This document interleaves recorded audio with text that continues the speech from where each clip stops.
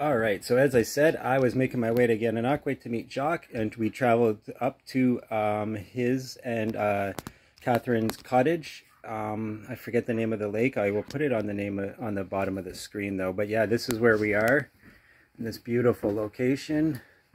It's an island out there, right there. That's an island.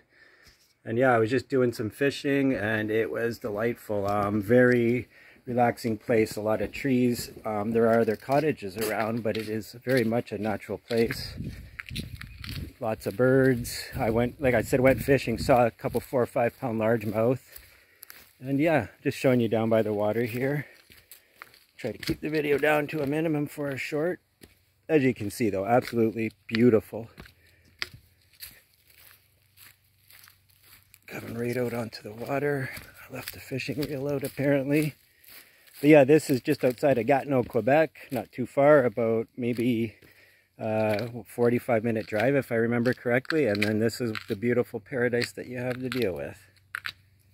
Absolutely gorgeous.